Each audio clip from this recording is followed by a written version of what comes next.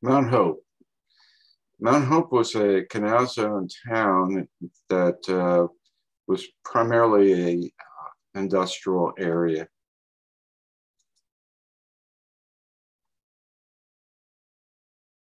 What we're looking at here, and I'll back up a little bit, is um, the landfill or the dump in uh, Mount Hope.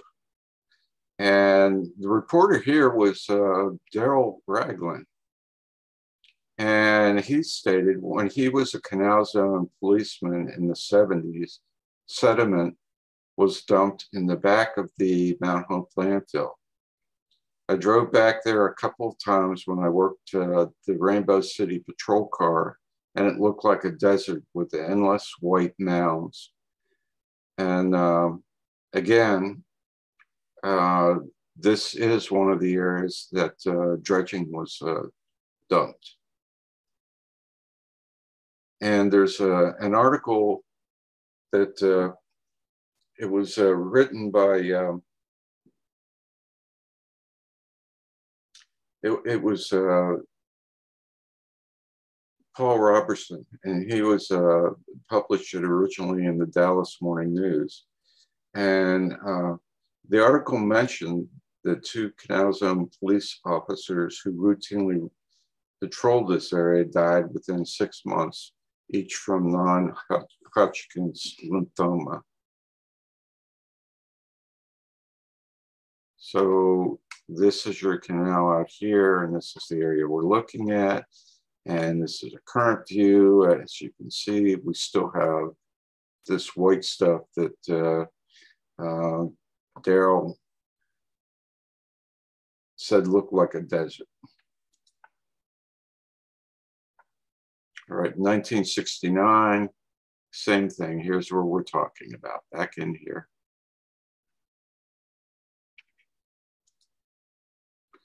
And on the map, it's just barely on there, but we're talking about this area in here.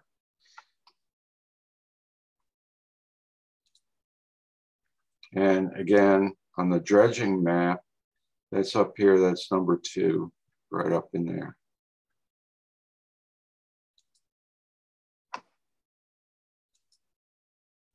Fort Gulick. Fort Gulick was constructed and opened in 1941. It was uh, perhaps best known as the home installation of the 8th Special Forces Group, uh, which later became known as 3rd Battalion 7th Special Forces Group. And they were uh, located there in 1962 until the unit was inactivated. And it was Fort Gulick was also the location of the School of the Americas. In 1984, partial control of the Fort Gulick was turned over to the Republic of Panama, and they renamed it Forte Espinar. Uh, the U.S. took administrative control in 1989 as a result of uh, the just cause invasion of Panama, and the name Fort Espinar stuck with the place.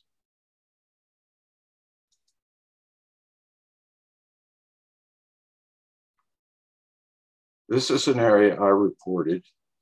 Um, there was an enlisted housing area, and it was down near uh, what was gate number two, and an unused gate uh, to Fort Gulick, and pretty well surrounded by vegetation and so forth. But it always had areas that uh, that were kept open. Um, well, if we look here at 1969, you can see that the housing area is, um, you know, is is very isolated. The none of that growth outside of the uh, the gate had occurred at that point.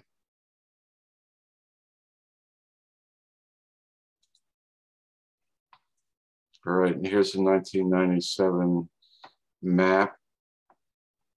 And uh, again, we can see the housing area here and the old gate two was here. and another map showing Fort Gulick at that point. You can see the housing area back here.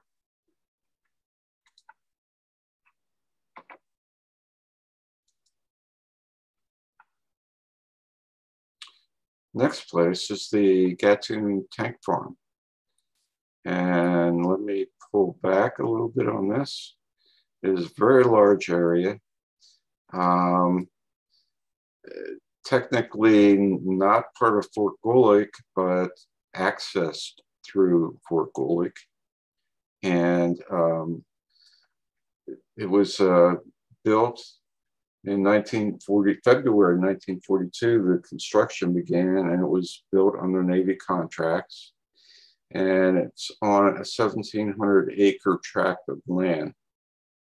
And the tank farm includes 15 buried 27,000 barrel and 11 50,000 barrel steel tanks and seven 27,000 barrel tanks of pre-stressed uh, concrete and it was sunk into the ground um, to provide protection from uh, air attack and so forth. And it was connected to the existing Mount Hope tank farm, which was uh, still there, and it's, there are elevated tanks. And it was also connected to Coco Solo. Uh, you know, Coco Solo was a naval uh, naval base and also to the Cristobal Piers. Uh, in 1943, it was connected to the Pacific side uh, by means of the Trans-Isthmus pipeline, which uh, connected it with uh, uh, the Arraijan tank farm on the Pacific side.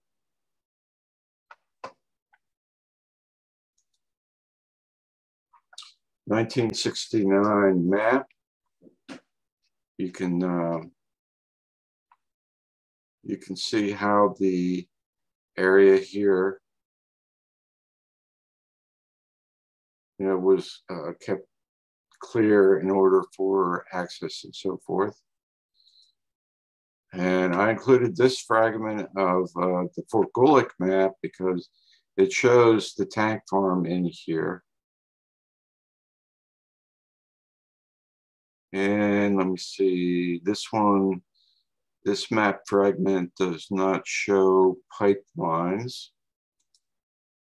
Okay, I guess we don't have a fragment here. Here again is the, the tank farm. Some of the map fragments show pipelines and so forth.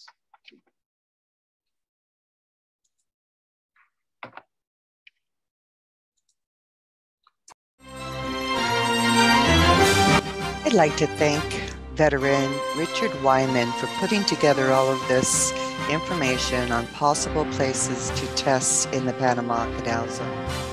We are further than we have ever been before. We have a rulemaking request that's been granted by the VA Secretary. We have an HR 5026 bill for Panama introduced into the Congress.